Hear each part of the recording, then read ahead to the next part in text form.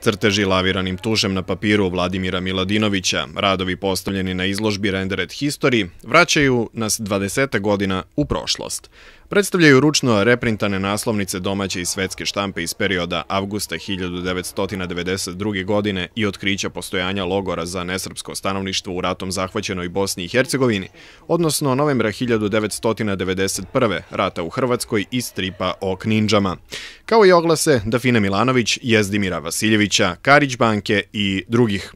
Neka moja osnovna ideja je e, pre nego što sam započeo što taj rad bila da na neki način e, prodrem u neku, u neku kako kažem, srž tog našeg ličnog sećanja, odnosno kada kažemo da sećamo nečega iz e, naše prošlosti, a naročito ako u pitanju nekakva problematična prošlost, meni je bilo bitno da nekako da u ovom radu pokažemo ili da saznamo gde, je, gde su reference tog našeg sećanja sadržane.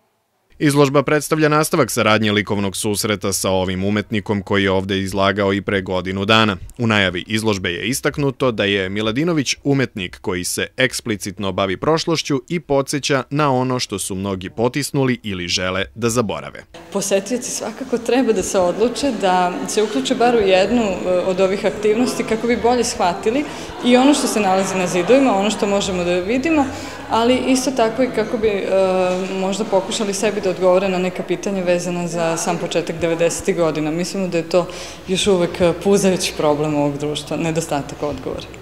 Izložba će u Subotici biti otvorena do 17. aprila, tokom koje će biti održana i tri predavanja, kao i vođenje gimnazijalaca kroz izložbu od strane samog autora. U likovnom susretu najavljuju još sličnih izlaganja do kraja ove godine.